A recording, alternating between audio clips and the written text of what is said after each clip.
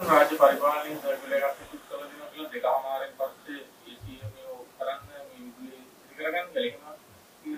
නෑ ඇත්ත වශයෙන්ම අපි වැඩපිළිවෙලක් කියන්න එපාය. මේවා අර පරිස්සමෙන් පාවිච්චි කරන්න මේ වගේ අවස්ථාවකදී අපි වාහනවලටත් කියන්නේ පුළුවන් තරම් අවම තෙල් ප්‍රමාණයක් පාවිච්චි කරන්න. විදුලියටත් එහෙම කරොත් අපිට මහජනයාට පහසුකම් දෙන්න පුළුවන්. ගෙදරක බල්බ් 10ක් දානවා නම් බල්බ් දෙකක් නිවන්න පුළුවන් නම් ලොකු වැඩක්. එයා කන්ඩිෂන් නවත්තන්න පුළුවන් නම් ලොකු වැඩක්. විදුලියෙන් වැඩිපුරම වියදම් වෙන්නේ එයා කන්ඩිෂන් බල්බ් එකකට වැඩි. අයිස් පෙට්ටිය වල. හොට් වෝටර් සරව මේවා ගන්න හීටර්ස් වලට. ඉතින් ඒවා පුළුවන් තරම් අවම කරා ගන්න පුළුවන්. ඒක අපි දෙකොල්ලම එකතු වෙන්න ඕනේ මේ ප්‍රශ්නේ විසඳන්න. මොකද මේ ප්‍රශ්නේ ඇති උනේ අපේ ආණ්ඩුවේ වැරද්දකින් නෙමෙයි. කොවිඩ් අර්බුදයත් එක්ක ජාත්‍යන්තර ව්‍යාපාර නැති වුණා. සංචාරකෝ එන එක නැති වුණා. අපි රටවල් වැහුවාම අපනයන කර්මාන්තය නැති වුණා.